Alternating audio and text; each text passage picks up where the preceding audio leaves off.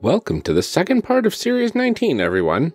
In this series, we'll be covering character creation for a really interesting game, One Last Job by Grant Howitt. We are welcoming back Chris Foster to the show, and we might actually be breaking our format a little bit. Uh, maybe just slightly and kind of playing a game. Um, well, we'll see how it goes. It will make more sense when we get into the actual episode, so stay tuned. Also, if you are enjoying the show, uh, please consider leaving a rating or a review on Apple Podcasts. The more five star reviews that we get, the better the show does in the rankings, and that means more people will be able to find the show easier. Also, good reviews will make us incredibly happy, so it'd be really great to see more of those since we're running out right now. And once Amelia and myself are able to record the cold opens together again, we'll be reading your reviews right here, and it'd be really great to read more of them. Now, with all of that out of the way, let's get on with the show. Enjoy!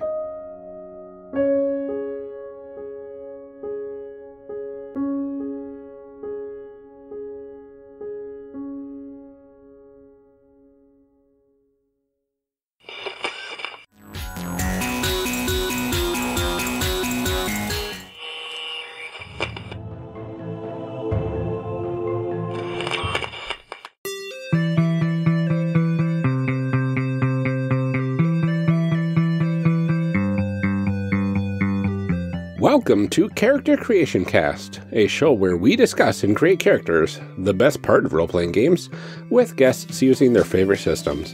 I'm one of your hosts, Ryan, and this episode, my co host Amelia and I welcome back Chris Foster, host of Playtest Podcast, for a special series of episodes covering, covering smaller games. This week, we are talking about One Last Job by former guest Grant Howitt a game about criminals trying to make up for a job gone wrong. Chris, welcome back to Character Creation Cast. Are you ready to do all of this again? Uh, okay, but only one last time. Okay, one last oh. job. Except for that part where it's not that you know that's for later. Except for that part where it's the middle job. one middle job. Uh, Grant, one second to one second to last job it's a less one, auspicious one day from sort of, I guess job. if I have to version of. sure, I need the money. uh-huh. awesome. Uh, so let's have you re- reintroduce yourself uh, and remind the listeners where they can find you and what you are up to. Uh, okay, so hi, I'm Chris. Uh, as previously established, I am. Eh, uh, I run the Playtest podcast and I design games. Uh, if you go check out playtest.itch.io, you can find my game uh, Dabini, which uh, all, any money that you spend on that goes to making the game better. So help. Yeah, do it. It sounds really cool. It is. It's about a 17th century disaster bisexual. Who I, I mean, I just love. Like she's my hero. I love her so much. I read her story, I'm like, oh my god, I, I can only ever hope to be as cool. Yeah, yeah, none, uh, none of us could like we would all we would get arrested immediately if we were as cool as her. Right. but I still wish it. That's amazing. She was she was sentenced to death by burning. Like wow. Even in the 17th century. Oh. It didn't stick. It didn't stick. No. I got better. I got better. They just couldn't catch her. oh yeah. Yep. Okay. Well, let's go ahead and get into this, and we will start by discussing what this game is all about. What's in a game? What's in a game? What's a gamma? Gamma. Gamma. Uh, so, what sort of things do we need to play uh, One Last Job? You need a lot of details. did, did I see a note of up to 15 D10s? The the that's from the book. It says up to fifteen d10. I okay. I have a lot of dice. I don't know if I have fifteen d10. Are you serious? Yeah, just... Okay, I'm pretty sure I do, but I don't have them handy. Like I would have to go to my my uh, dice tackle box that's packed away somewhere. I think I have. I think I probably have at least fifteen. You, if you have played L5R for any length of time, yeah, you have that Fourth many. edition. Yeah. Well, because they come in sets of 10. Like, you need like Oh. 10d10. And then you, you know, so. You, you, you're, because they're dice and we're all well, I mean, like, you can't tell me You that you've never had to, multiple like, do, like, 7k4. So, you know, Yeah. like, you need extras. Because, Yeah. Yeah. I have at least, Yeah. I can tell you that for sure I have at least two sets of 10s, like, that go together Mm-hmm. Have- plus all the other.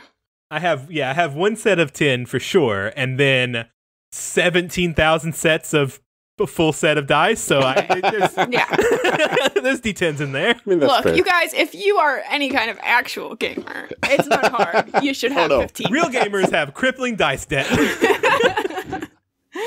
Yeah, I mean, after you've bought all of those supplement books that we talked about last time, Oh, gosh. then comes the dice problem.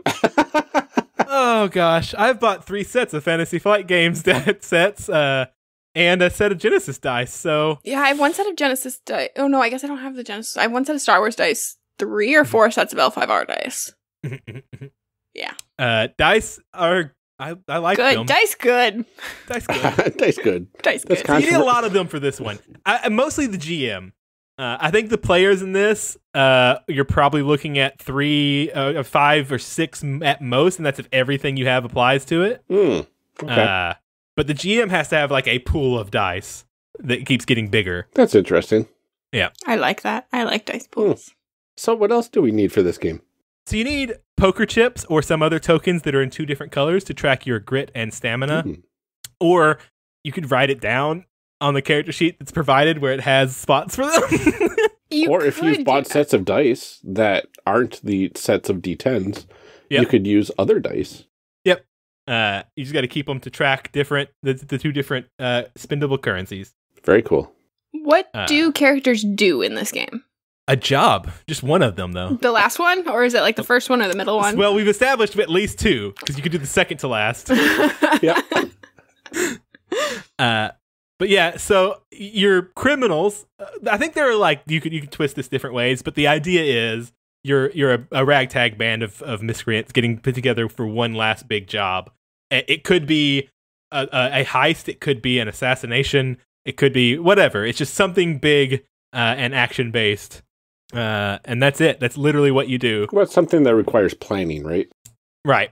Well, and I think part of the premise too is that like this is to sort of redeem yourselves for something that went wrong previously. I, I don't know if it's it's supposed to be technically it- yeah so it's supposed to be you're you're going back the last job you did went bad and you're going to try to do it right this time Mhm. or something to that effect Mm-hmm. So, uh, bakery competition.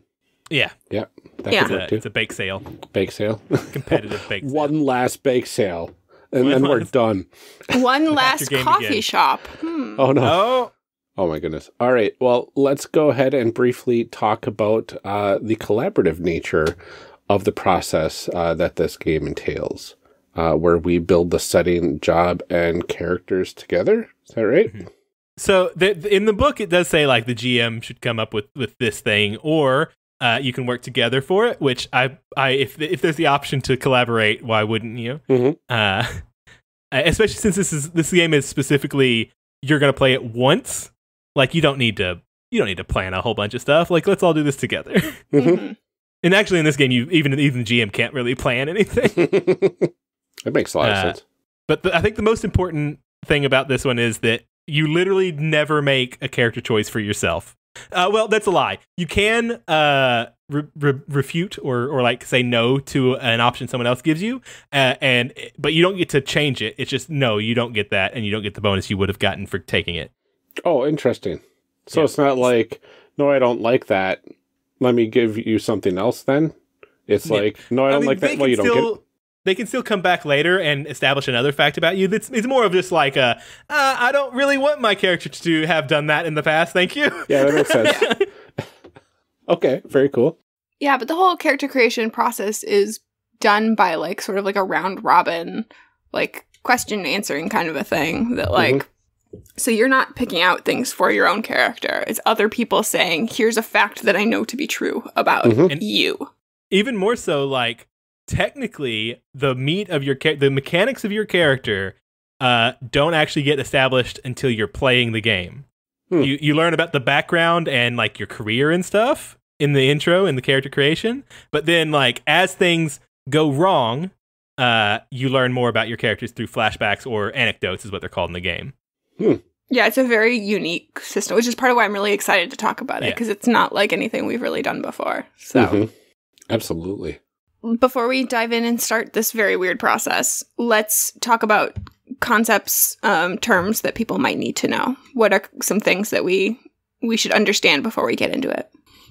So it's it's pretty simple. I think the only terms they use uh, that that aren't obvious are grit and stamina. Mhm. Uh, so grit is you can I think you can spend a grit uh, to gain three extra dice on a roll, uh, or to restore your stamina.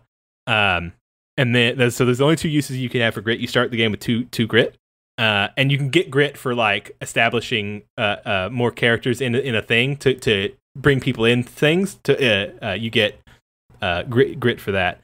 And then stamina is just your endurance and health. If you ever hit zero stamina in a scene, you have to you take a, a consequence for it. Like you could lose one of your abilities. One of your abilities go down by one permanently. Uh, you could uh, leave, flee the scene or something. Or one of the options is uh, you betray your party uh, Yes. and become an NPC. Um, and the, the interesting thing there is once you've picked an option from those lists, uh, you can't pick that again. So if you get messed up a lot, eventually you're just gonna leave or betray your friends. I love it. Uh, a lot of this game is about not having agency over your character. yeah, which is very it's very weird uh, for Mhm. a lot of us. A lot of people really don't like that lack of agency. I sometimes really like it. I, I think it probably depends Mhm. on who you're playing with. Uh, and I, think shouldn't it say probably. on- really, really does depend on who you're playing with. yeah, Uh-huh. But it's a fun a fun space that I like to explore that I don't think a lot of games do because I think a lot of us are like, no, my character is mine. Don't touch them. Uh, and I, I think the thing that makes it so much better in this one is you know that going in, like you're playing this game understanding you don't have that much agency over your Right. character, and you're you're this is like the very collaborative mhm. Mhm. uh, situation. So don't play with people who are going to make bad choices.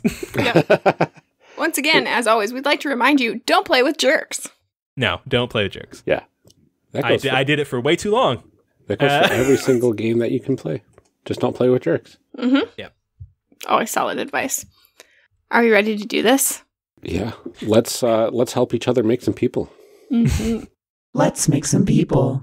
Uh, so the first step is we have to pick a setting. Uh, they have a bunch, like the a lot of this book is just the settings. Um, so we and we'll reference this later, or or we don't have to reference it, but it gives you like ideas for what's going on. It, it keeps us all on the same page. Uh, I I don't know if I don't want to list all of them. The the obvious one is professional criminals, but there's a lot of them like cyberpunk and Wild West. Uh, if you, I don't know if you want to scroll through them, see if any of them jump out at us or what. Yeah, I'm gonna scroll through here. And Oh see. my gosh. Investigators working against the great god Cthulhu or cultists in service of the same. It's a setting that's interesting. Um Cyberpunk is always good. Uh, Y'all have done Headspace though, haven't you? Yes. yeah, we have. I, I mean, I'm not, I'm not feeling Wild West or Mhm. professional criminals. I know. I mean, I really like investigators working against Great God Yeah, Cthulhu. I was gonna say it sounds or like cultists. And so, good- should we be working against Cthulhu, or are we cultists? Uh, I would kind of want to be a cultist. We just I we were just magical girls. I know. I, okay. I mean, I asked that question, and I was gonna try and be impartial, um, because we all know what I'm gonna say. Well, And here- be- here's the secret. I was thinking cultists too. Oh. Ryan, I I love what I've done to you. Uh, I blame you for my newfound evil. I'm I'm okay with that. so the the important thing to to take from this right now is also this is on page thirty, so we can reference that again. Uh, is this sets what our actual abilities are? Uh, our abilities are blood, which uh, we roll to hurt people, give sacrifice, or uh, endure torment. Wow. Uh, secrets, which is knowing hidden things, cast ritual magic, search for information. Uh, shadows is sneak, lie, cheat, or st- steal or hide. And money, which is fund, bribe, buy, or gamble. wow. This is Uh, amazing. so it's important to note that unless we establish that you someone is bad at something, we can't establish that someone is good at something. So at the start of the game, all of these abilities start at two. Okay. hey, we're really good at this. Uh, in fact, we are exceedingly average at all four of them. Don't correct us, Chris. It's our show.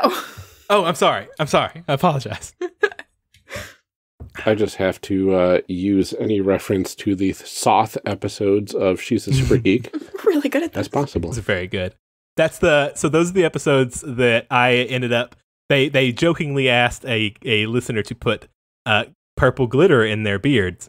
Uh Oh, yeah, and I have I had a very big beard at the time and I was like this is my moment.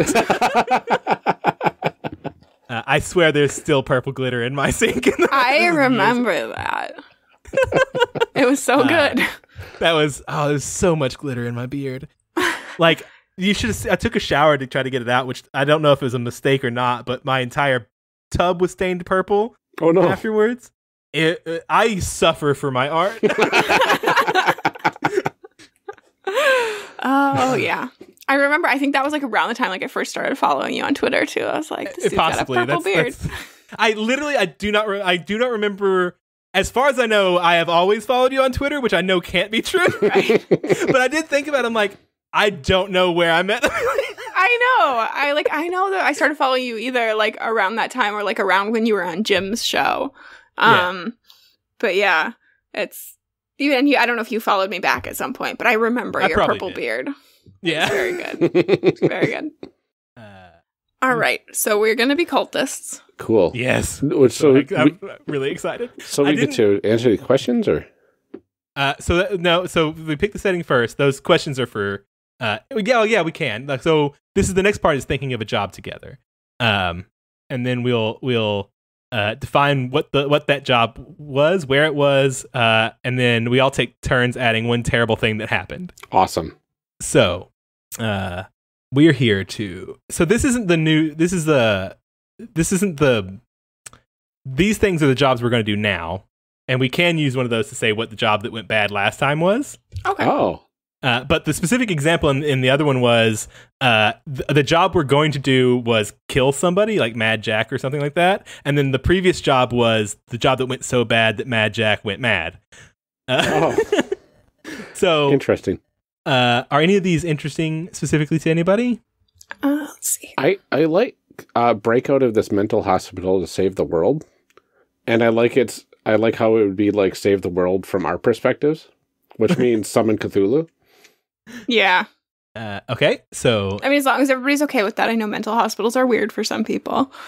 Yeah, I'm okay with it. I was Uh, I, was think- allowed to leave mine. It was only a day program. they did let us use butter knives. It's very exciting. So I think that means that the last job that went so bad was the job that got us put in here. yeah, for sure. Uh, Oh, I was thinking that that was the last job. yeah. The breaking out was the last job. Oh, Oh, uh, and that went terribly. Yeah, so like we're got out, here? but there's like massive amounts of uh, bad things happen. It's like a manhunt. no, because we we got to go the other way. They we've got to be doing something, Oh, that's not true. running from something. Yeah. yeah. So I think that the first one was what got us in here, and now we're gonna break out. Okay, Yeah. I like that too. Uh, so so yeah, I like that. Break out of this mental hospital and save the world by summoning. I would like save the world to be in air quotes. air quotes. Yeah. Uh, so we got to take turns adding one terrible thing that went wrong during our last job. Um, and uh, I've got one. Okay. uh we we were we decided to summon Cthulhu by uh, uh sacrificing a politician on City Hall, Oh, like the steps of City Hall. Uh and turns out we're bad at finding the parts you're supposed to stab somebody. Oh no. oh no. and it didn't work. Turns out the That squishiest parts are not necessarily the best. Uh so we had a botched sacrifice oh no. in public. Okay. What else went wrong last time? Um, I think that even once we did figure it out, he was like not an important enough politician. Like he was just an alderman Wait, Like or like the- a the school board assistant- member, school board trustee or something. like he was Oh, like the- so we could only technically with what we gave them only summon like a lesser god because he just like Yeah. wasn't an important enough sacrifice. they were there. running for a higher office, though. That's where our confusion was. Yeah. They weren't They in that higher office yet. he wasn't the incumbent, but we thought that he was. We just like clearly did not do our research. yep. no. We've been too busy researching uh arcane texts. We Yep. don't know about right. So we don't know local where to politics. stab anybody, and we don't know. Uh, I like the idea that like the the actual idea is that we're supposed to be hyper competent, and now- well, but here's the thing: is like I think that we are competent, just like competent cultists. right, not at like the actual sacrifice part. Like we are very good at like we know the text like backwards and forwards. Yeah. Yeah. we we are really great at theory, not so much practice. All right, Ryan, what else went bad last time? um, I'm gonna say, uh, we were supposed to do it at, um, you know, in the middle of the night, but because of circumstances, we had to up the deadline, and we Uh-huh. actually did it in the middle of the day Uh huh. when it was most Like crowded. hour. Yeah, like rush hour and just tons of people around. We're like, we got to. This is our only chance. If we don't do it now, you know, it. it we're never going to get this chance again, and it it'll probably be fine because it's midnight somewhere. Isn't that te- hey? It's a cosmic horror. This the cosmos. Yeah. It's midnight somewhere. It had a it had a good amount of logic attached to it. I think Yeah. like Not- we couldn't tell if it was midnight or noon. it was twelve o'clock. It just said twelve. It just said twelve 12. o'clock. we mix up AM and PM. It's fine. I can never remember Look, which one's noon. Is it AM or PM? when you're translating, like the text we're translating from did not have the same clock we had. It, you had to make some assumptions. We assumed wrong. yeah. Oh my gosh, we're just really terrible cultists. This is What a if- game what of if- soft. What if it was something like that, where it's like when the stars are in this position, blah blah blah blah blah, and we we calculated it out, but we calculated it to noon instead of Yeah. instead of midnight. Yep, just had one. We didn't carry the one. Yeah, we didn't Oh, carry the one in one spot. Or uh, from the text, we didn't carry the. It'll trip you up every time. That yep. uh, okay. So we know what went bad last time, and we know we all land- we all landed us in uh, a mental hospital. Uh, the um, the next thing we do is we got to figure out, figure out who the boss is, and it, it's kind of obvious the boss is our cult leader, right? yes. Uh, so who is we got to name this cult leader, and I, I feel like it, it, it, it their name's probably like Dave or Janice, but we can't call them that.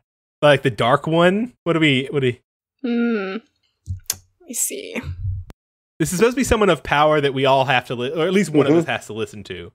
The the harbinger, The harbinger. the harbinger of destiny, the dark harbinger, The great fishy one, the great fishy one. Captain Magikarp. Oh no.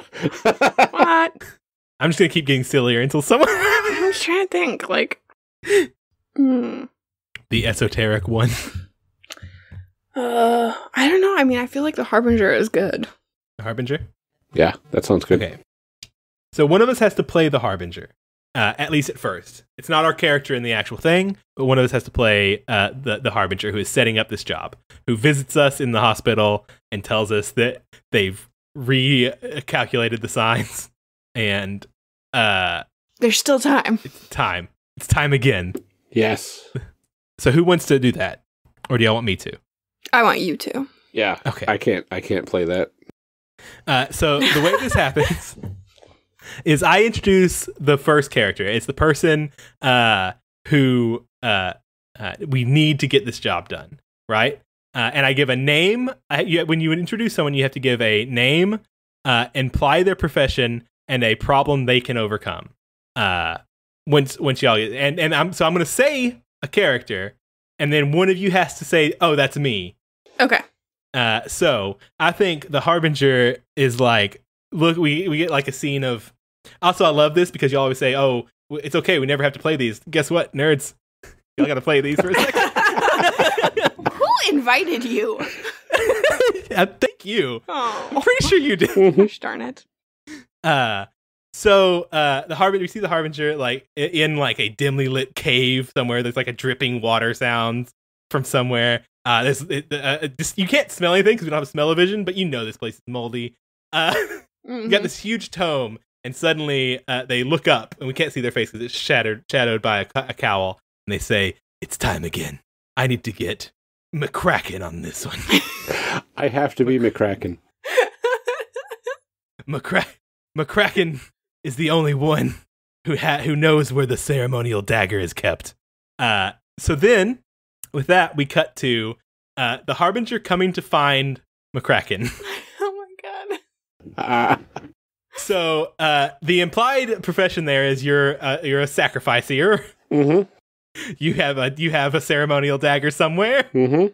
I've got it. I've got the ceremonial dagger hidden away. Yeah. Uh, It's a very specific. so we one. see. I th- sorry, what? It's a very specific dagger. Yep. Uh, so we see uh, uh the outside of a. Uh, actually, we got to turn to we got to go to you now, McCracken. Uh oh. Uh, so I, we all know where we are, but we've got to talk. We got to get into like uh, you introduce. Um, sorry, uh, you explain what you've been up to and how the boss convinces you to take the job. So okay, so I explain what I've been up to. Yep. And how okay. I've been stuck in this uh mental hospital Right. for the past let's say almost a year. Uh because the, there's no way they're letting us out and and we keep talking about, you know, really really strange things Mm-hmm. and uh speaking in very strange languages with each other. Yeah. What else do I have to Uh, how the boss convinces you to do the job. Oh, okay.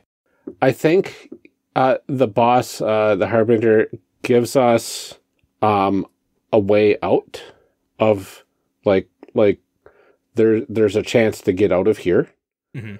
uh, but you have to break out. Yeah. And when you do, if we can get your dagger, which only you know where it is and how to get it, um, because it's you know hidden in a complex Mhm. puzzle of sorts.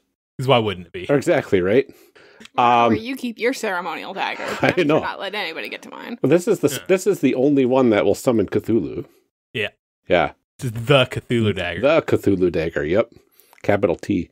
And I think they give uh they say, yeah, it's you know, last time it didn't go well, but this time we've checked the numbers and now now we know exactly when it needs to be.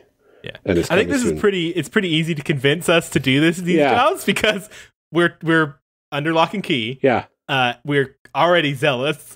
Yeah. Mhm. uh, so uh, so now that you're convinced, the boss has convinced you. You've got to say, okay, but it's not so simple. We're going to need this, and then you introduce a character that can solve that problem. oh, okay. Okay. So under uh scene uh, on your character sheet under scene leader dura- during, you would put sacrifice because your your character will be the scene leader during the sacrifice scene oh, interesting. because that's what you're good at. Okay. Scene leader sacrifice. Interesting. Oh gosh, uh what do we need to uh Okay. So there's a there's a list you can look at for um inspiration, or you could just take one of I- them off of it. All right, I got an idea.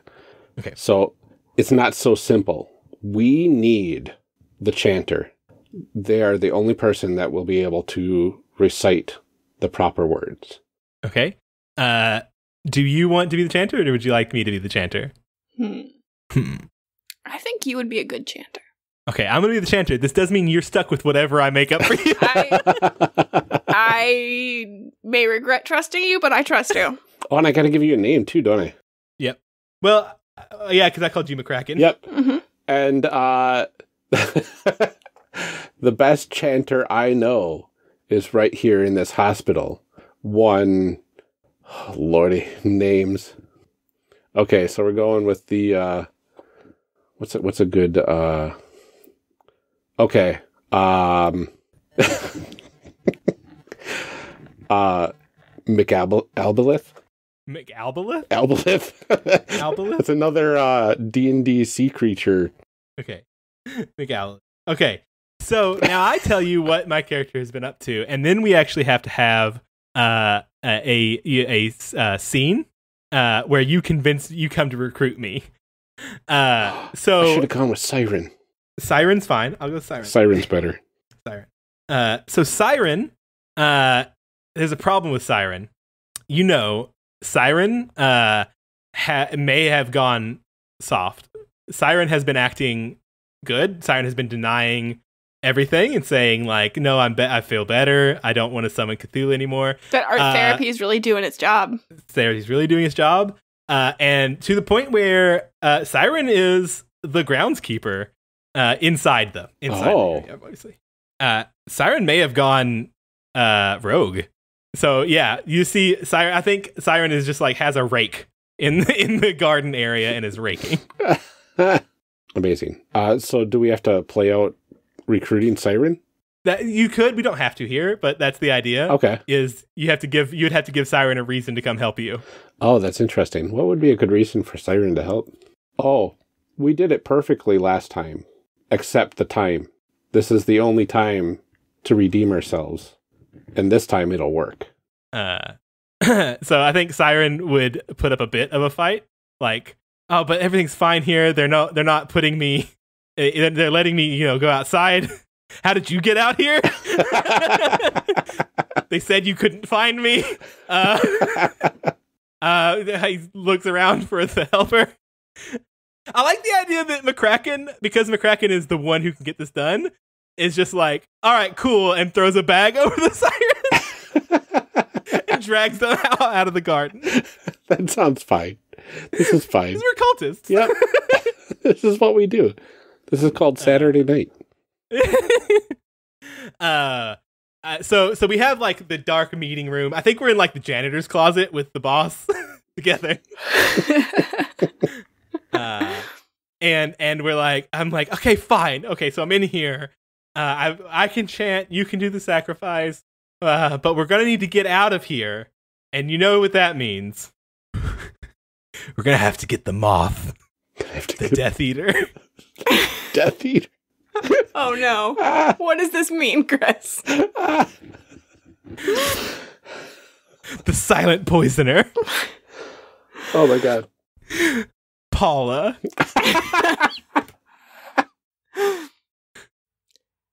Which which one of those am I? Uh, you're all of them. All of them. the moth, Death Eater, the poisoner. Paula. Paul. Paula's your name. Okay. Okay. You have a lot All of your- titles. Your, many, many secret uh, pseudonyms. All right. Paula. And the implied profession is, I guess, killer. Someone who can get us out of here. Okay. These are probably not good people that we're playing.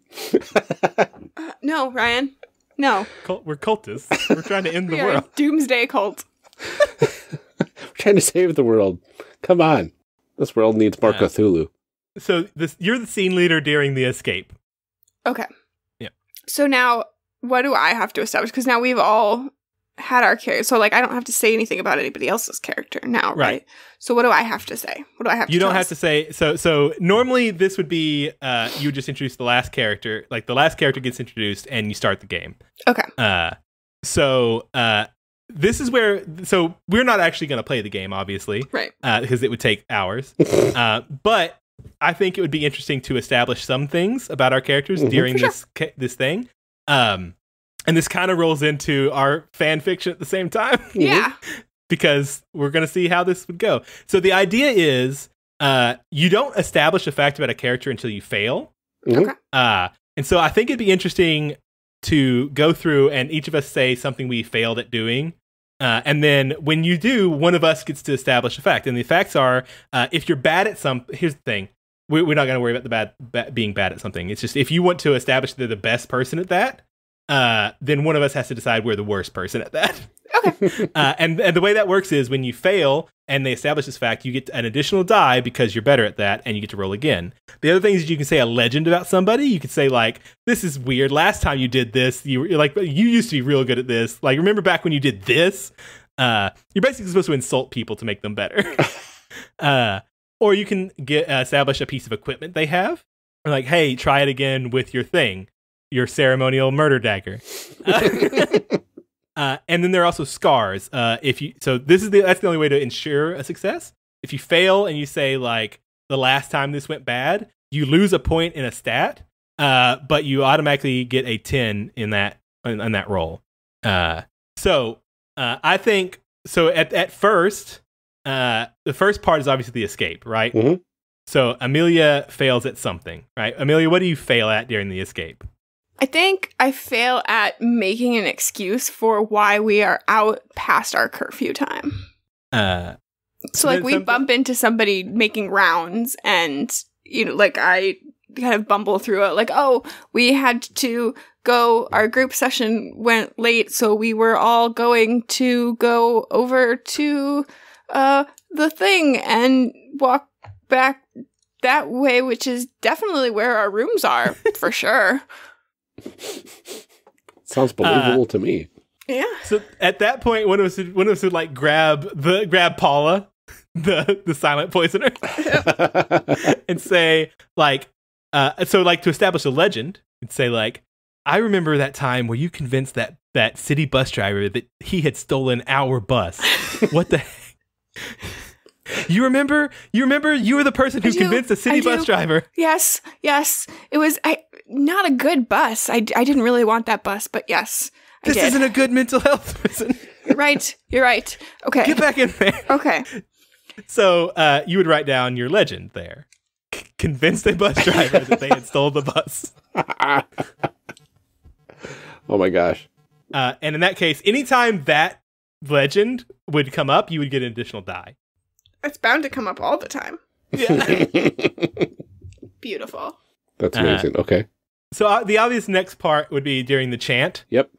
uh, uh, of something I mess up, and I think.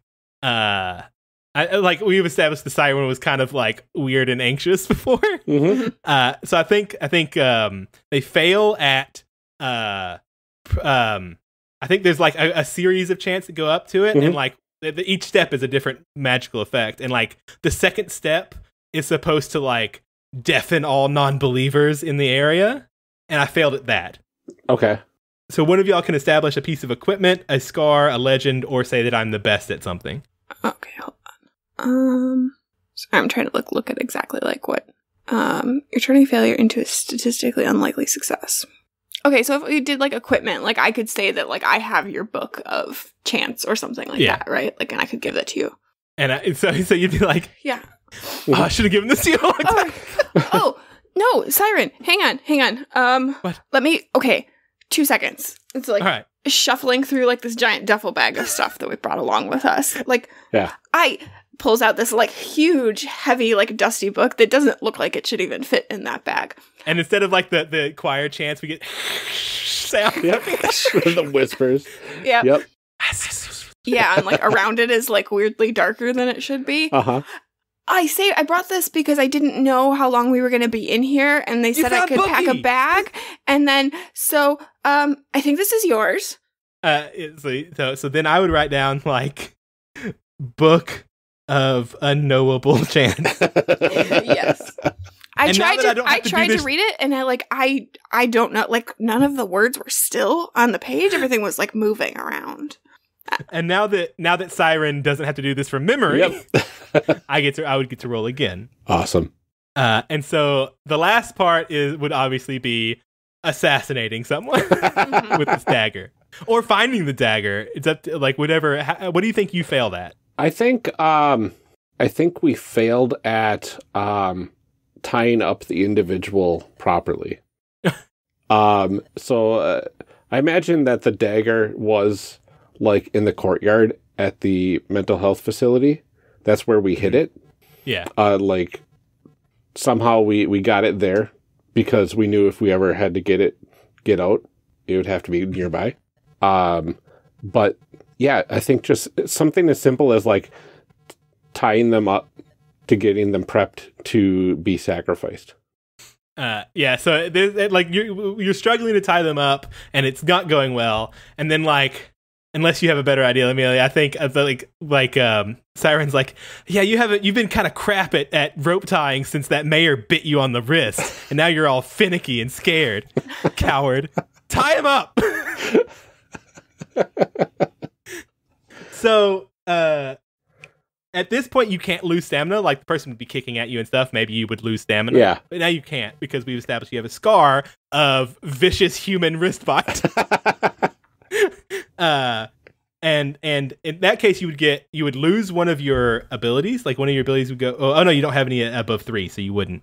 Um, uh, but you would you would uh, get two grit for accepting it, Okay. uh, and you would automatically succeed at this when you turn one of your d10s into a ten. Nice. Uh, so that's basically how it would go. You do legends equipment and scars Nice. as you go through and fail. I don't know if we want to do one more run through to flesh them out more. If you get the idea and we have an idea for these characters and want to move on. Let's do one more. Okay. So let's let's let's do it. Let's flip it around though. Uh, so I think during the escape, which is which is the one uh, Paula's running, Mhm. uh, Siren, uh, Siren got startled and just uh, you know they're the chanter, so she she's very loud. She's like she's got she can project. Mhm. I think her day job was like a, an actor. Uh, uh, and so when when I got startled, I alerted the entire wing of this this thing. Uh, so what do you what do y'all say or do at that at that point? I'll just like grab her by the shoulders and like shake her. You can do this. You can handle this. Do you remember that time that you were on stage in front of 400,000 people and you had to sneak in tiny bits of this chant so that we could prepare everything to be ready? And it was in the middle of some weird Shakespearean tragedy. I'm going to be honest, I wasn't paying attention to which one, but you had to like sneak all of the lines in there. Like, if you weren't afraid while you were doing that, you can handle this. It will be fine. You're right.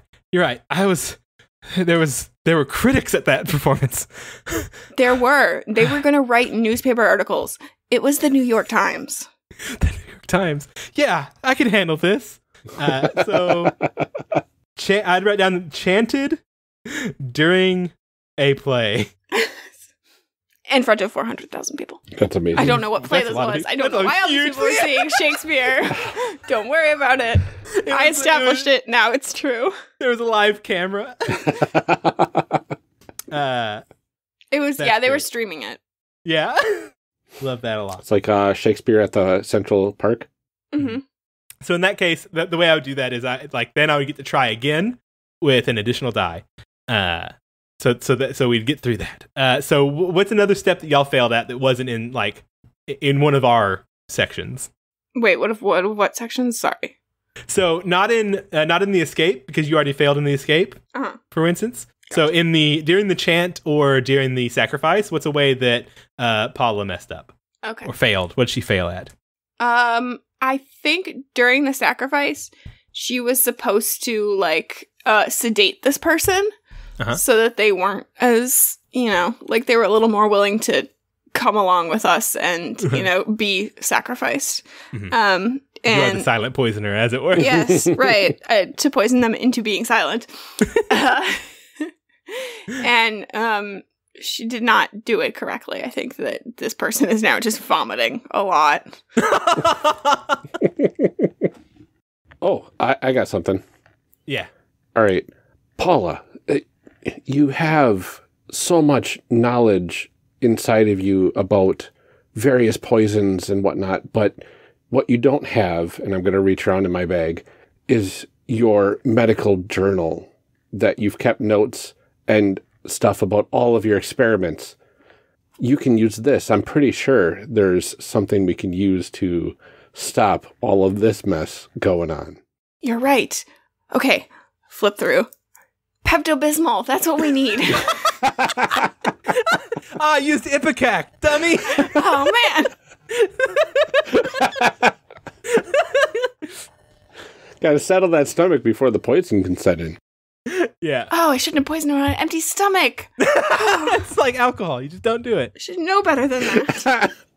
this has been a PSA from Character Creation Cast. Never poison on an empty stomach. Yep.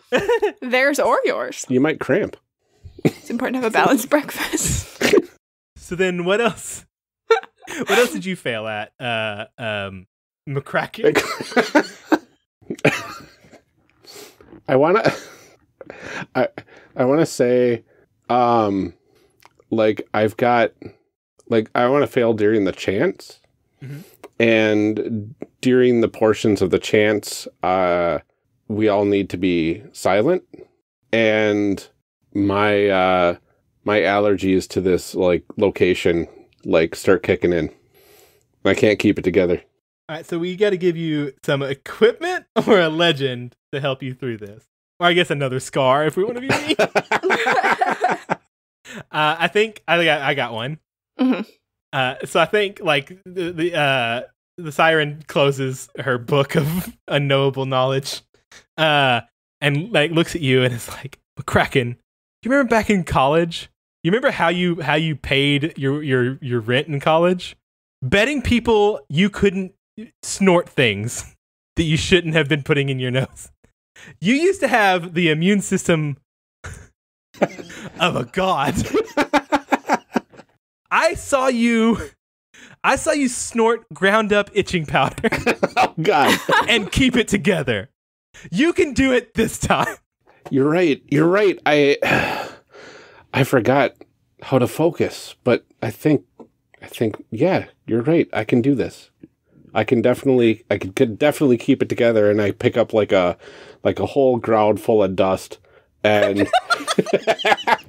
no matter what this is, it won't be as bad as that time you tried to snort lime Kool Aid powder. yeah, and I just I just inhale that dust right into my my nose, and like I got this. Just dirt all over. Oh my So, gosh, these people Your suck. your legend would be can inhale anything. I can snort anything. Oh my gosh. Uh and and so that's basically how character creation in this goes. You play through. I think it's generally less silly. well, Yeah. I don't know. Maybe not. We we did pick the cultist's path. Yeah. Yeah, I mean, cultists can be bad at things. Mhm. All right. So we did it. We finished our characters. we did it. We made some cultists. Woo! Let's make some cultists. Still people, Ryan. Still people. Cultists are people Cultists too, are people too. as we established in uh, episode zero. I don't know. No, it was like uh, series eight, I think, maybe. That's true. Was it when we did our one with the magpies? Was it, or was it the robots series? Robots or droids are people too. Droids are yeah. people too. That's very possible. Um, animals are people too in Mouse Guard. yep. We need shirts that just says like blank are people too. I think that would be taken wrong in people. it's true. Characters are people too. There Yes. you go. All right. Well, uh, since our format is uh, completely thrown asunder, how about uh, we dive into uh, our discussion segment and uh, ask D20 for your thoughts? D20 for your thoughts? So, in this segment, we want to talk to our guests about their thoughts on the character creation process and how it feels in this system compared to others.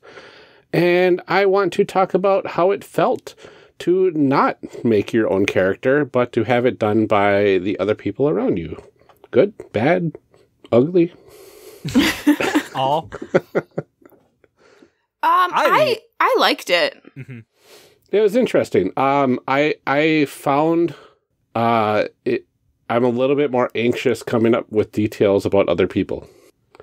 Um, so my anxiety kicked in a bit more uh, than I normally do. Uh, a like on the spot improv, and Mhm. B it affecting other people. Yeah, this is a thing that we talked a lot about when we did our star-crossed stuff. When you have to trade the sheets, Yeah, um, we talked a lot about that feeling of like that lack of agency, and then also the weirdness of like I don't want to give you something you don't want. Mhm. Right. Right. But the uh, the main difference obviously is that star-crossed uh, adds in that layer of like trust, which is really important in a relationship. Whereas here it's just just like a way to kind of mess with your teammates Right. in a in a fun Which you're never super comfortable with. You don't love that. I know. so that's probably another uh, another reason uh, I had the anxiety about that. But uh, I enjoyed it. It was interesting. Yeah, I think I think it's um I have always thought about like wouldn't it be fun if we just uh made each other's characters like in whatever game we're playing. Like here, you're playing this now just to challenge like um tropes and stuff. Mhm. Mhm. Uh get you out of your comfort zones like approach a game from someone else's uh perspective, I guess. Um which doesn't this isn't really, really what happens in this one. You just kind of make jokes about each other until, Right. until you're better at things. I mean, that's very Uh, on brand for Grant. yes. I think it's I think it's pretty fun. Uh, I, I think it's an interesting way. I wouldn't want to do it for like every game, Mhm. or especially not a game you have to like keep the characters. Yeah. Uh, but for a one shot with your your friends that you like, Yeah. it'd be fine. Now, now I'm picturing a game where every time you go to roll a new skill, like you don't know how good or bad you are at that skill until other people like make up a story. Yeah. and then it's just like, okay, I guess I'm really bad at what I'm about to do. So we'll see how that plays out. I do think it would be. I think. I think. Um, not progressive. What's the word? Uh, uh, emergent character creation is an interesting concept that I, I think would be cool to see more. Mhm. Uh, but I don't know how how to do it in a way that's sustainable. Like I think in a yeah, longer there's a whole game- like group of like there's a whole school of GM thought too that I've heard about and makes me cringe. Are GMs that like you don't know your own stats. That Mhm. like you just roll and I'll tell you if you succeed or not. Oh, I um, hate that. I Yeah, don't like no, that, that, at all. feels, that feels terrible, right?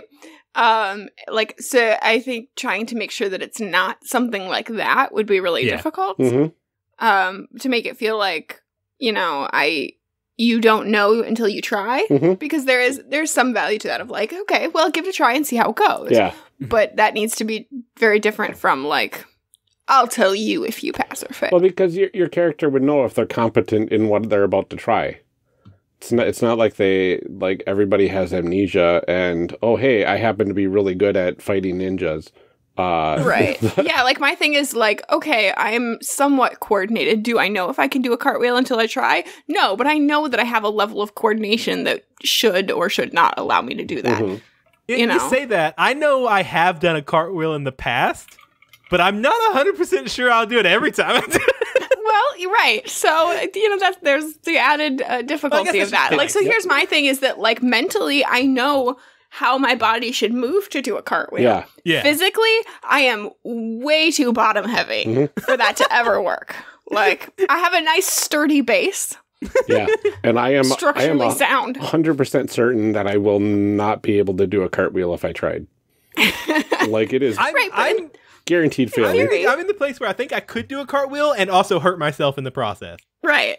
I would hurt myself and fail at the cartwheel. So we got. Okay, so got what does this have to do with stats again? I don't remember. Ah. We've established who can or cannot do cartwheels. Look, you, you cover the important things. True. Uh, so, you know, not so much about the game, but can you do a handstand? So yeah, uh, that's that's about establishing facts of other people, Yeah. um, and how it could go wrong. Mhm. Uh, if uh, and and how it doesn't make sense if you're trying to do something and somebody says you're horrible at it, and then you're actually mechanically bad at it too, Mhm. even though uh, you would think that you were at least decent. I can see that. yeah, I think this game takes a lot of trust. Like, it does. Yep.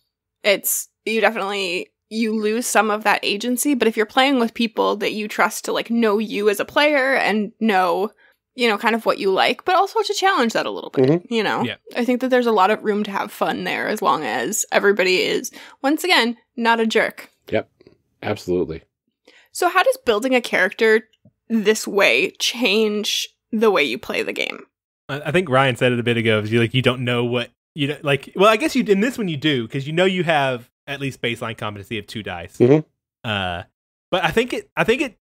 I'll be honest. I think it makes you more likely to roll things that you would you, your character might not actually be good at because if you fail, someone can save the roll by establishing a fact about you. Mhm. mm-hmm.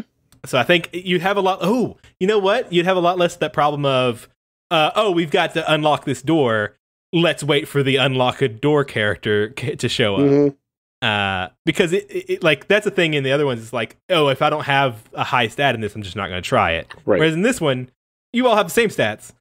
try it and see if see see if like you need the help. Mhm. Yeah, and there's some kind of something happens after you fail too that sort of, you know, gives you a reason to be willing to do that. Whereas like in D&D or something it's like, "Oh, you fail. Okay, next person's turn." Like, wait, that we just wasted time. Yep right. Yeah, and, and in games like that, it's just like, okay, I'm gonna keep rolling until I succeed, Mhm. or something like that. And th- in this game, the interesting thing doesn't happen until you fail. Really, like Right. failing is how you flesh out your character. Yep, Mhm. that's really cool. Mhm. Uh, so, do you think the process in this game still allows for a character that feels fleshed out? By like the end of it, I guess. Yeah. Yeah. yeah. So that's the interesting thing is that like this is this is very much a play to find out. You know, we talked about that a little bit with Love and Justice Mhm. that like you kind of you know narratively establish things, but this one you both narratively and mechanically are establishing Mhm. things by playing the game. So really, the character creation process we don't really know much about these people at all. I know that I stole a bus once. I know that I apparently poisoned people, Uh huh. and I know that I have a medical journal Yeah. that's about all that we've established about Paula the Moth, Death Eater, the Silent Poisoner. And I just like to snort stuff, apparently.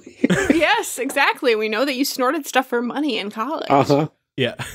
Uh, yeah, and my- like mine literally is just the, the, the chanter named Siren, and I'm good at chanting in place. Yes. And I have a book. You don't have Uh, stage fright. Yeah. Don't have stage right. Uh, which I think like once you, if you played through more, we'd have a, even more fleshed out, Yeah. and also like the the the ways we have been interacting in character would have established would have would have informed some of this. It would be a little more cohesive. Because we'd know more about each other, and you because you could you in, in actual play you would establish things about your character through mm-hmm. play, whereas in this one we're only letting each other do it through failures that we made up.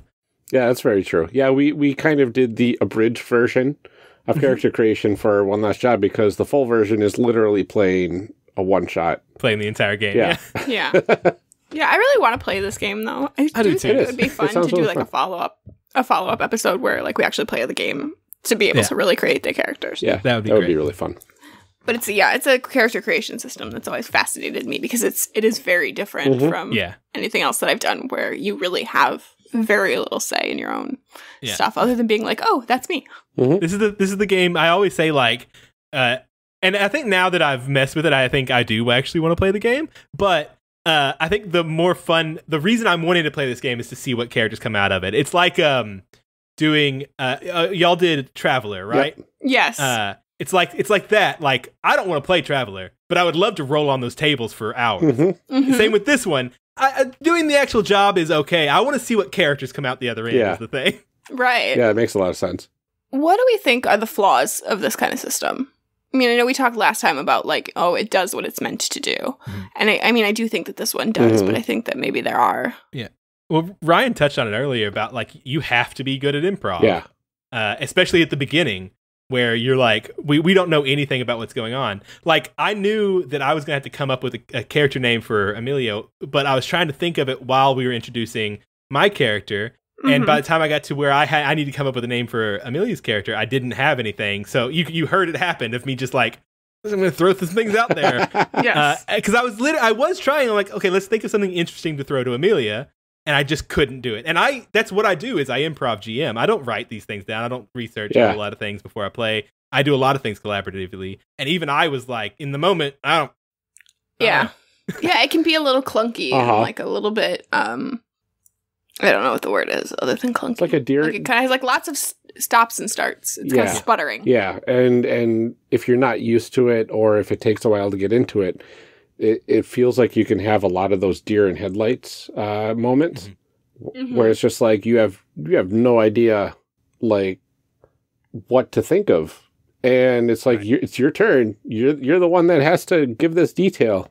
Mhm. You know, Yeah, and well, and I think there's an added level of anxiety to that too, because not only do I have to like make up this detail, it's like I'm making it up about somebody else. Yep. So not only do I have to like come up with something, but it's for someone else. It's not Yep. just I'm like, uh. It's like if I come up with something stupid, somebody else has to live with it. Yeah, yeah. Like if you, for instance, call someone the silent poisoner. Yes. Actually, my character is mute; they do not speak at all. but this being an audio medium, that would be a little more difficult. yes. Uh, yeah. Yeah, I, I don't really know if there's many flaws beyond that because that's just kind of the way it's designed. Yeah, I think that the flaw that I'm seeing here is A, the improv thing, and B, this is not a good uh, system for discussing on character creation cast. for our uh, we can make them and never play them policy. Uh huh. This game doesn't really work. Yeah, because you got to play to find out. Yeah. We're not good at that. Nope. so, uh, do you think going through the character creation process in this game this is a silly question. Gives us clues now that we've done it, about what gameplay will be like. Uh, yes. Literally the gameplay. because the gameplay creates your character. yes, we've literally played the game. So to answer that question, yes. yeah, Technically, that's amazing. so, fanfic Okay. doesn't really work. No, I do. I think we can we can do a little bit of fanfic here. Um, so why why now? Like we we found out last time that we thought it was noon. It was actually midnight. We got that wrong. and, and it so has now to be what changed? like uh there was supposed to be one of the planets was supposed to be more in one of the constellations or something like that. However, astrology works. Yeah, yeah, yeah. So like uh Something was in retrograde and it was. yeah, so it was like off by like a degree or two in the sky. Mhm. Uh because we forgot to carry the Yeah, the I also think uh, it had uh, uh, it had to be now because like we started the ritual already with that non-elected official, and they just got elected. Oh. so we had to. Yeah. finish was the same person. Yeah. oh no. Yeah, well, because we didn't actually kill them. This poor- We this really poor bad guy. job. Oh no. And so now they, he was obviously able to like finish out on his campaign of like, look what strength I have. I've been through this, and I'm still running for office because I it is so important to me that even despite almost getting murdered, I believe in democracy. We got to clean up the city, all that sort of stuff. Yeah, we got to get rid Were of these we- cultists. was this like was it was it our master plan somehow like we actually didn't do it badly last time we actually did succeed because we got them elected Well, that's what we're gonna tell people after. uh-huh Yeah. Well, Yeah, we're we not because we ended the world. well we'll be there we'll be fine We'll be there. We can talk to our other cultist. yeah people. all Oh, the right, believers um yes in our, our cultist afterlife we can tell everybody that like actually we we were sure, pretty sure that he wasn't going to get elected and so it was really important that we did that and like we botched that initial one so that he could run on that campaign. Like Yeah. we sacrificed We a year of our lives Yeah. in that mental hospital Yep. we for you. we knew that that planet was two degrees off. We just you know we did what we had to do. Writing we couldn't tell anybody because we knew that nobody'd go along with our plan. Telling these stories riding on the backs of cthulhu. Mhm. living in his tentacle beard bathed in his glorious slime Yep. Such is the Becoming one with the, the skin. life. Gross. yuck I didn't pick cultists. I did. I did. I you I did was you part of said a little bit you wanted it it. I can't bail out of this oh one. my goodness. no we have the audio to prove it Uh-huh. Crap. That's amazing. Oh, this was a lot of fun. This was a lot Yeah. of fun. Uh, Chris, thank you so much for joining us for our cultist theme one last job episode. Uh, can you go ahead and remind the folks where they can find you online? Uh, yeah, you can find me at Iolo on Twitter or Eolo if you're not me. Uh, and you can listen to the Playtest podcast. Thank you again. Thank you everyone for listening and join us next week when we break our format again and discuss another game. Another game. Gasp! Another game, Chris. It will be your one last job. Finally. Because then we're going to kill you. oh, geez. End of episode. Oh my goodness.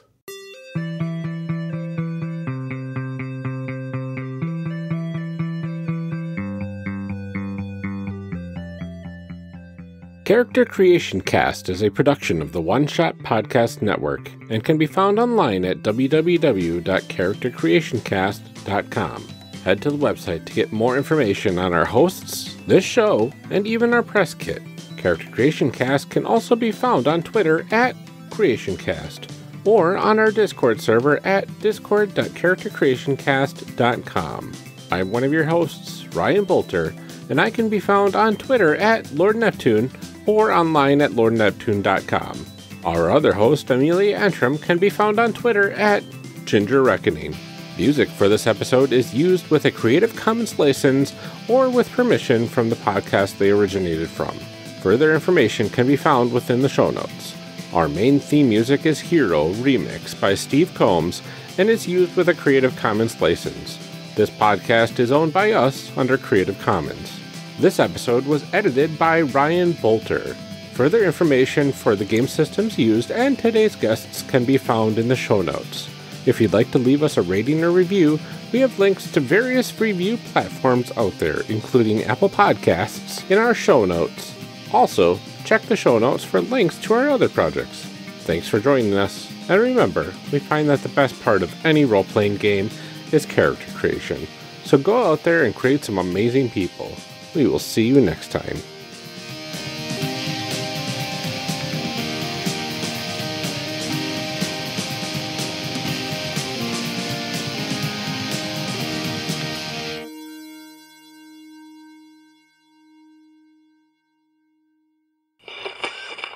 Gotta read some show blurbs. Show blurbs. Show blurbs. Show blurbs. Show blurbs. Character Creation Cast is hosted by the One Shot Podcast Network. If you enjoyed our show, visit oneshotpodcast.com where you'll find other great shows like Asians Represent. Asians Represent celebrates Asian creators and diversity in the gaming community. Join hosts Agatha Cheng and Daniel Kwan as they discuss gaming, genre, and representation with their guests, and occasionally argue with each other to the sound of Agatha's beloved air horn app. E. Oh, beautiful. Uh, Delicious waveforms. Taste like cereal. that was last episode. Last time on That- Character that's, Creation that's Cast. a callback. Ah, fun. Okay. So now you can only do that one more time, or you have to do it a lot of more times. Yeah. I love, I love giant. Oh my gosh, Oh, like just like handfuls bathtubs full of dice. Yes. Oh, a bathtub. Oh gosh. I need I to. don't like That's I a feel dream like, I didn't know I had. I mean, I feel like that okay, that would be like the ultimate like sensory experience for me. Just like Yeah. roll around in a bathtub full oh, of you like tiny you gotta, like, D6s. weed out the D4s, right? What? You got to weed out the D4s. Oh yeah, no, right? it'd be just like the tiny D6s. Okay, yeah. And I would be oh. real happy. Awesome. Is that like those half-size D6s? Yeah, Yeah. the little baby ones. You can get like Because I've got I've got smaller ones. I've I, I don't have my dice tackle box, but I've got itty bitty uh, D6s that are literally like Yeah, the teeny tiny four, ones. No, I'm four talking about five the ones. millimeters. That, I'm talking about the ones that are like 36 to a cube. Oh yeah, Yeah. there you go. If you get smaller than this, they start to look like candy, and I can't be trusted. Yeah, don't think you, well like, those are eat al- those already look like you got to pop them in your mouth and just crunch on them. Crunch. Oh, Oh, that hurt- gosh. That hurt my teeth just to think about. What a good episode, y'all. Bad. I'm sorry. I apologize for. Don't. Uh, we we were like Chris. We gotta stay on task today, and then we need it. we um, need some outtakes. We did not stay on task. This is going to be the first time that we have outtakes in every series Oh, or every yeah. episode. yeah, it's gonna be good. A, a lot of firsts. yeah. I don't I'm a rebel. I mess things up. Seriously. Which So there's nothing less true than that, Chris. I'm I'm I'm rebel. I'm cool. I'm cool. the more you have to say it, the less true it is. The coolest. I'm so. I used to be so punk rock. Okay. I've never been punk rock. I was goth, but even then I wasn't cool because I was broke and it was so just black black Wranglers and black t-shirts. My mom like would not like. She used to get really mad if I wore, wore black more than like two days in a row. So. I, I bought my own clothes. My parents could shove it. oh yeah, I mean, I had to pay for my own, but she would still get upset about it. So, Oh. uh, yeah, I'm sure that she's really loving where I'm at now.